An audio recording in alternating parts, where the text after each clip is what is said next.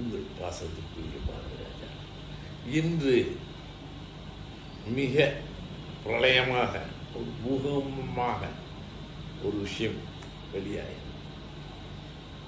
ரஜினி அரசியலுக்கு எப்போ வருவார்? இப்போ வருவார் அப்போ வருவார். இப்போ வருவார் அப்போ வருவார். எப்போ வேணாலும் வருவார். இதோ வந்து விட்டார். சொல்லி ஒரு தேதியும் நிர்மாணித்து இந்த தேதியில் கட்சி அவர் அறிவிக்கிறார். அரசியல். எனக்கு உடன்பாடு இல்லைன்னு நான் ரஜினியோடைய நண்பனாக நிறைய சண்டை போடுவேன்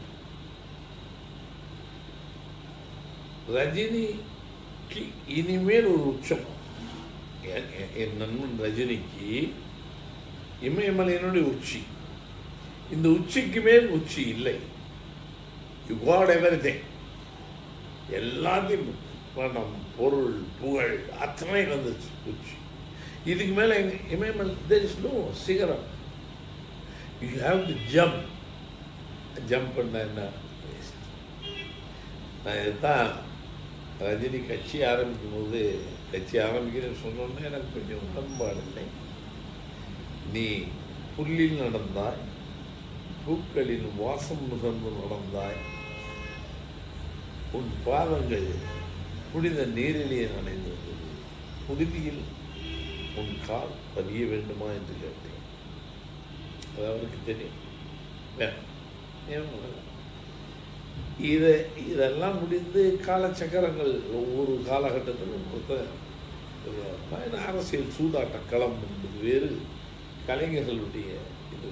என்னால் அரசியல் சூதாட்டத்தில் காய நகர்த்த முடியாது ஏன்னா மென்மையான பூக்களை மக்களை மலைகளை நதிகளை மேகங்களை ரசித்தவர் நான் உள்ளே நுழைய வேண்டுமென்றால் என் கை கரைவிட்டு கட்சி நடத்த வேண்டுமென்றால் என் கை மேலே ஒரு கரை வேண்டும்.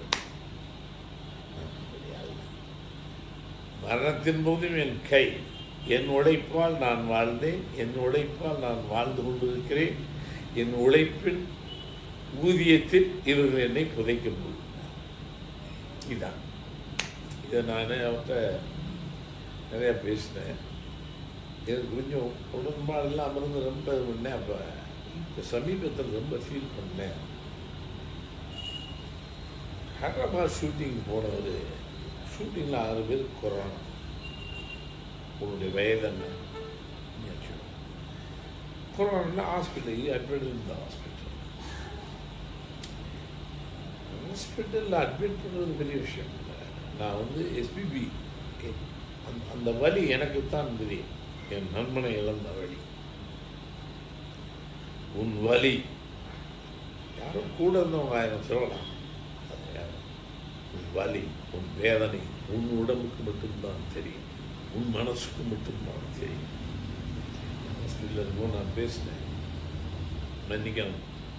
தலைவா எப்பயுமே அவர் நான் தலைவான்னு தான் கூப்பிட்டேன். தலைவர் நீ எட்டாத உயர்ந்தில்லை இனியும் உனக்கு இந்த அரசியல் தேவையா? மன நிம்மதி. There is only one birth. ஒரு பிறப்புத்தான் இன்னொரு பிறப்பு இந்த பிறப்பில் இறையறை வேணும் கடவுள் உனக்கு இதே பெரிய ஆன்மீகவாதி கடவுள் உனக்கு எல்லா அனுக்கிரகங்களையும் கொடுத்துட்டான். இதுக்கு மேல் நீ எங்கே போக please think about I'm crying நீ அரசியல்வாதியாக நாட்டில் பெரிய ஆளாக இல்லை எனக்கு என் ரஜினி என் நண்பனாக கடைசி வரை இருக்க வேண்டும் சொன்னேன் என்ன முடிவு எடுப்பார்னு தெரியாமல் இருந்தேன். இப்போ ஒரு முடிவு எடுத்திருக்கேன்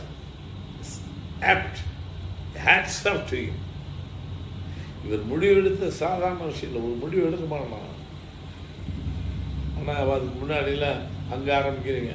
சொன்னார். அண்டு என்னதான் இருந்தாலும் மனிதனுக்கு சில குழப்பங்கள் வரும். அல்டிமேட்டாக ஒன்று திங்க் பண்ணும்போது முடிவு ரஜினி எடுத்த முடிவு. சரியான முடிவு.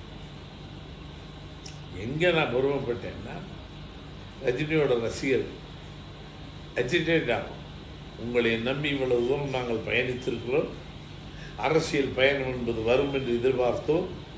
நீங்கள் திடீரென்று நாம் கட்சி ஆரம்பிக்கவில்லை என்று சொல்லி கொதிச்சிருக்கணும் அவன் வெறி பிடித்த ரசிகன். முதல் முறையாக இந்த தமிழ்நாட்டினுடைய மாவட்ட செயலாளர் அந்த அந்த ரஜினி ரசிகர் மன்றம். அத்தனை பேருடைய இன்டர்வியூ நான் பார்க்குறேன். எந்த ஒரு ரசிகனும் எந்த ஒரு எதிர்பார்ப்பும் இல்லாமல் உன்னோடு பயணப்பட்டிருக்கிறான். இல்லைன்னா பெரிய கலவை வந்து அவர் என்ன சொல்லுகிறார் எங்களுக்கு இதெல்லாம் தேவை. அவருடைய உயிர் முக்கியம் நம் அவருடைய உடல் முக்கியம் உயிர் முக்கியம். கர்ப்பகிரகத்திலே போய் நாங்கள் சாமியை கும்பிடுகிறோம். எந்த எதிர்பார்ப்பும் இல்லாமல் அதுபோல்தான் ரஜினி எந்த எதிர்பார்ப்பும் இல்லாமல் அவன் ரசிகர்கள் Hats off வேற ஏதோ காரணம் இதை எதிர்பார்த்தன ஒரு குணம் தான் கிடைக்கலையே எந்த ரசிகனும் சொல்லவில்லை. There you got genuine you are great ஆன்மீகத்தினுடைய உச்சத்தில் நீ ஜெயிச்சிருக்க. நல்ல முடிவு எடுத்திருக்க ரஜினி. லவ் யூ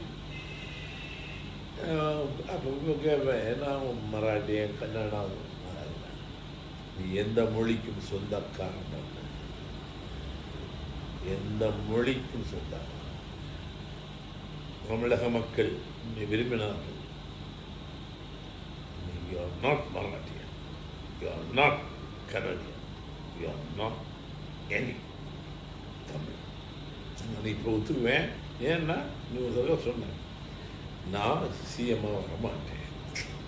உனக்கு பூல் வரலாம்.